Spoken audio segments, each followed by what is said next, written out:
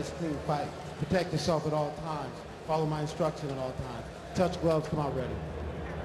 It was interesting to note for Brandon Garner, he trains uh, soldiers at Fort Bragg in hand-to-hand -hand combat. So uh, definitely uh, involved in many facets of the martial arts. And uh, it's going to be interesting to see how this battle unfolds here at Edmonton's Northlands Agricom. King of the Cage shocking off. Mauro Ranallo along with Duke Roufus and Jeremy Horn cage side.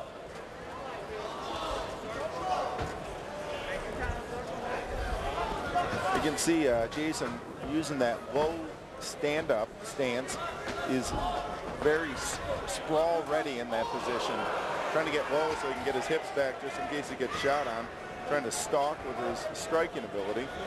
Yeah, that Trying can make it hard sometimes to, uh, you know, to defend the kicks. Like you can see with a, with a lower stance like that, you're not quite as mobile with your footwork sometimes. Dent does have a three-inch uh, height advantage. Um, definitely may come into play here, guys. The, the reach uh, definitely, if it stays on the feet long, that's going to come into play. He's going to start loosening up a little bit and probably standing up a little taller and start throwing more hands. The thing I'm worried about with Dent, this is the lightest weight I've ever seen him fight at. Uh, the weight, the weight coming off might affect his stamina in this bout.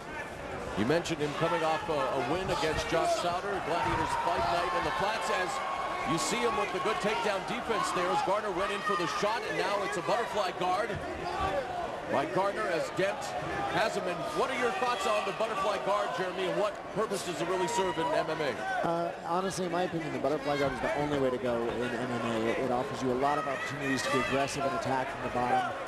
Uh, whereas a close guard is really, you know, looking only for defense and a, a few submissions here and there. But uh, if, if, you're looking to win the fight and take it to the guy, the butterfly guard's the way to go. And you can see that Garner busy underneath as well, looking for an opportunity to neutralize the arms, maybe even look for a more attempt with the left arm. But Again, doing a good job here of keeping him neutral. An opportunity here as well to try to pass the guard, right, with the open guard. Yeah, uh, he did a good job. He actually climbed into the full guard, which actually, you know, limits uh, Brandon's options for submissions and that type of thing, which opens up Jason's uh, offense a bit more. Now, with, with, Brandon, what type of submission can he attempt from here, possibly? Um, he's sitting up over the top of this arm. That offers you a couple options of uh, reversals and uh, a guillotine choke or possibly a uh, shoulder lock. He's, he's doing a real good job of uh, tying up Jason's arms and, and keeping him busy, and, and now he's looking for a good triangle. Triangle there, you're right. Jason did a good job, uh, got his head up and got the pressure off a bit. Now it looks like he'll probably get loose. And looking to do maybe what Quinton Jackson did to Ricardo Arona in Pride, and didn't get all the momentum behind that, but does drop him down. And now here's Garner, Jeremy. This looks to be getting a bit tighter. Uh, he brought Jason back down to the ground, and now he's got it locked up behind his knee, and this might this might be it. You can see Dent trying to fight out of it. And it is over as Jason Dynamite Dent is forced to tap out Brandon Garner.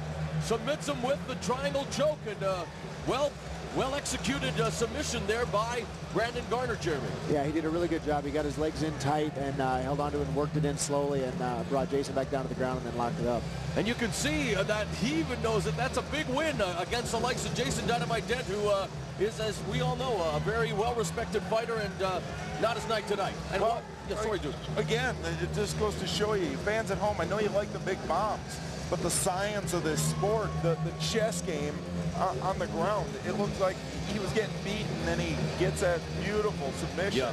Oh, you're singing to the choir when you're talking to the likes of yours truly, and of course, Jeremy Horn. That's a beautiful triangle choke. And let's take a look now at that butterfly guard.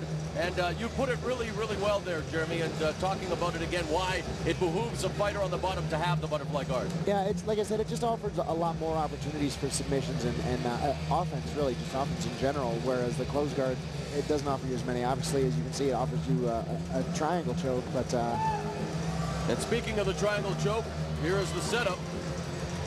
Yeah, he did a good job. He shoved that arm back and got his left leg inside and uh, was able to get that up over his, over his uh, Jason's shoulder. And Jason did a good job. He stood up, started taking the pressure off and trying to back out.